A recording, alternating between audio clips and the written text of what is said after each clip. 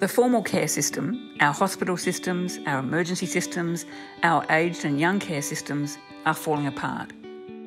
What would be courageous would be to stand up and say, we're now going to preference care workers and put a price on their work. We're going to pay. We're going to have proper workforce plans for anyone in the care sector.